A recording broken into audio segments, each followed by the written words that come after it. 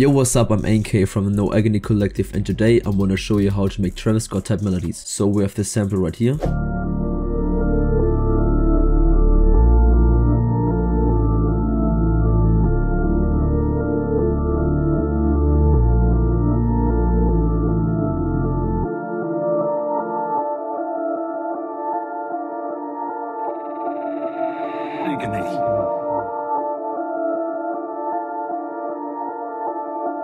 So as you can see we have three main elements of the sample, um, two bell melodies and one bass melody, but this is just this melody pitched up one octave as you can see right here. Let's look at the bell melody first. So this is the pattern I made, it's from Serum, it's the bell dream preset from the Supernova Volume 1 Serum Bank and yeah, let's listen to the melody.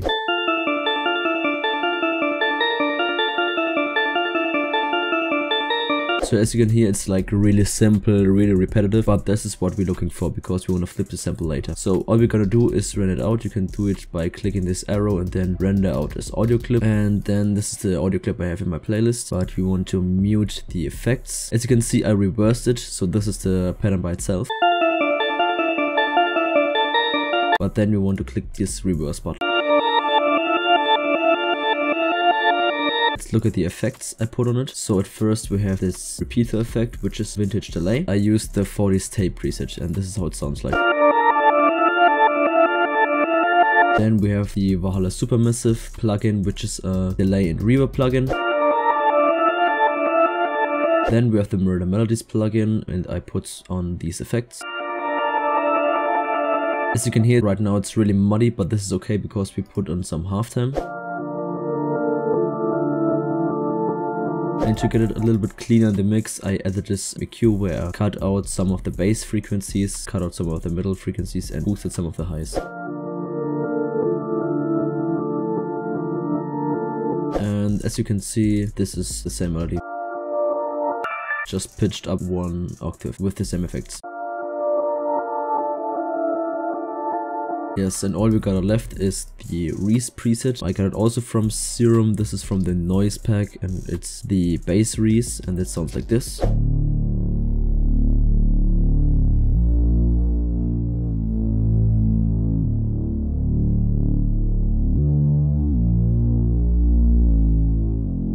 And I added an EQ and cut out some of the highs.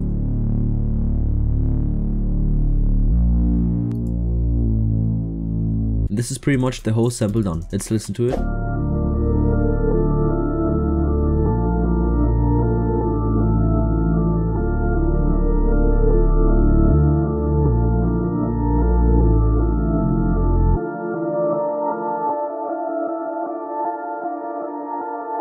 But now I want to show you how to make something else like this. So we put on a new pattern and we use the same bell reset and just make a simple melody.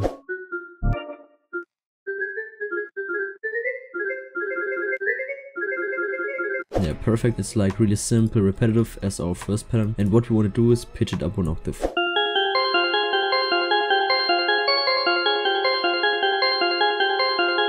So then we ran it out as an audio clip, cut remainder. Then we do the same as beforehand, reversing the sample. This is too high for me, so I pitch it down like 600 semitones. It's routed to the same mixer track. Yeah, and then you have a similar melody. Now we come to the second part of the video. As you can see, I'm in a new project where I added some drums and here I've got the sample. I ran it out and just imported it to the new project. So let's listen to the beat first.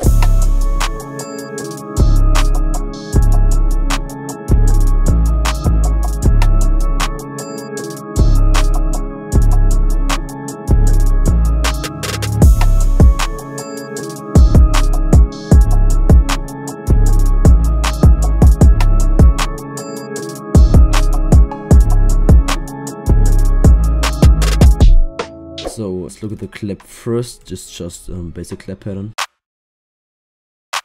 And as you can see, I EQ'd out some of the harsh frequencies of the clap, which I didn't like. Then we come to the hi-hat. The hi-hat I layered two hi with each other.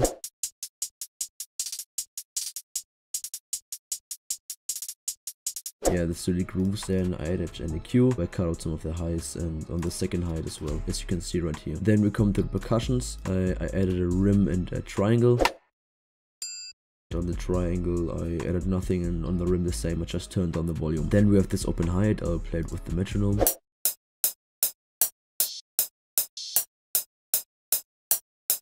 Yeah, this open hi-hat complements the normal hi-hat pattern really good and on the second part I added this cowbell which compensates really nice. Then we have the 808, I play it by itself first.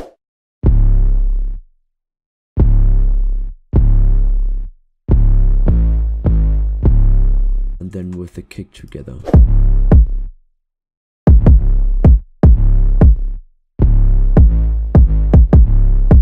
The thing is, the 808 and the kick, I sidechained them together. So we have this kick right here, you just right click on this arrow normally, then uh, sidechain to this track. Then you add a limiter, and yeah, you can copy this preset and sidechain it. And then I added to the 808 and the Q where I cut out some of the lows about 20 hertz, some of the highs, and here was one frequency I didn't like, so I cut it out as well. Then we have this little snare roll and this reversed 808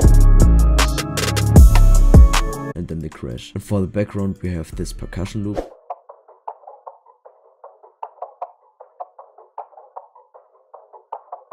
I added some vinyl with the 1960s preset and some EQ. This is pretty much the whole beat. Now we look at the master. Um, on my master we have MoTT and the soft clipper. On the MoTT I choose the on the quickset the hip hop preset and then I turn this knob to advanced. Then we go down to the timing style, put it to smooth, play around with the mid and high knobs and you can turn the amount between 15 and 20%. And also what I did, I boosted the output gain. So I boosted into the soft clipper but therefore I had to turn down the volume of most of elements. So yes, this was the video. I hope you liked it. Consider subscribing if you want more tutorials like this. Leave a like and a comment and we see you guys soon.